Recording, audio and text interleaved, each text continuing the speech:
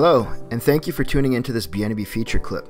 We value your time and appreciate you for watching. If you find this useful and you enjoy the content, please like and subscribe and let us know in the comments what else you'd like to see. In this video, we're going to look at how you can run your Tosca test cases directly from Qtest without any knowledge of Tosca Commander or how to create automation. Here we have two regression scenarios for our Meteor application's REST API. Here's a look at our user story. Take note of the Qtest test execution section. Obviously, this could be defined a lot better, but for the purpose of this, take note of that execution section and the Jira issue key bweb27. Now we've navigated back to Qtest in our Test Design tab. We're looking through our test catalog at our Meteor API regression scenarios. We see to get top 1000 heavy meteorites and get meteorite by ID. Now we'll go ahead and link that user story by clicking the Add button, switching over to the Requirements tab, and typing our Jira story key. Once we've done that, we can click Enter and it will find it synchronized as a requirement in Qtest. Once complete, we'll hit Add and we'll notice that the test case is now no longer approved because requirement linkages are versioned. We just simply need to save, then approve the test case, and now we have a new version of our test case linked to our user story. We'll go ahead and repeat that same process for our Get Meteorite by ID. Again, go to the Requirements tab, click bweb27, click Oops, I actually needed to search for and click the checkbox on that requirement to add it. If you don't see it linked, just make sure that you actually hit the Enter key and be sure to click the checkbox, then click Add. And we'll repeat the same process of saving, then approving our test cases.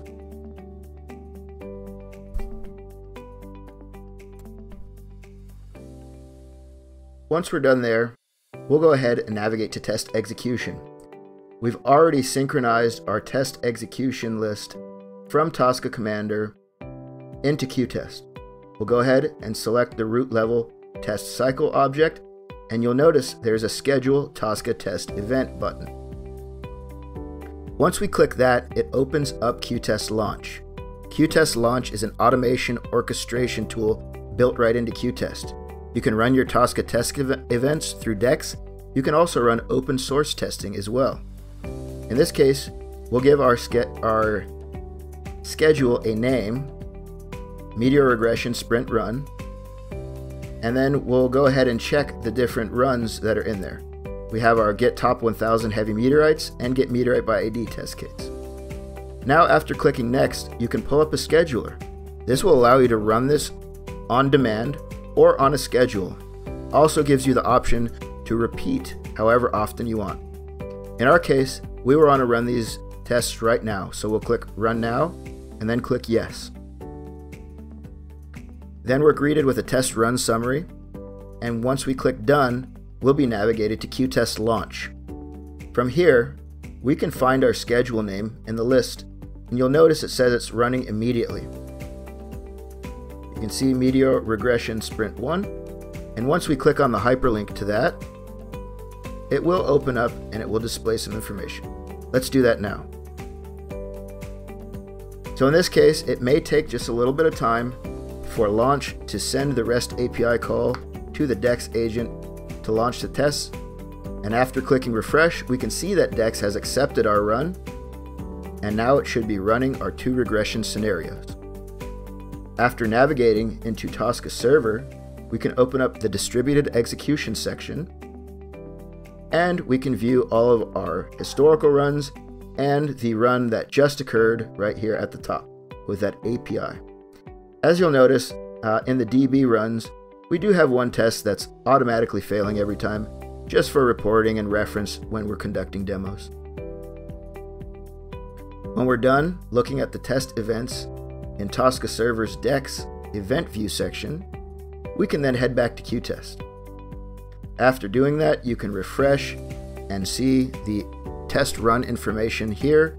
You can click on each individual test run and review its history. But now we'll head back into Jira and look at our user story. take note of that test execution section. After clicking refresh, we can see that there are now two linked runs. And after applying that filter, you will now see that both of our test runs have passed. And you'll also see the release, the test cycle, and if applicable, the test suite that these have been added to. These filters are a great way for you to show real-time live statistics to the developer or product owner verifying this story write in Jira, linked to your automated results from Qtest and Tosca. And as you've noticed, we didn't have to open Tosca once, and we didn't have to create any automation. We were able to leverage those assets very simply with the out-of-the-box integration. Thank you for watching.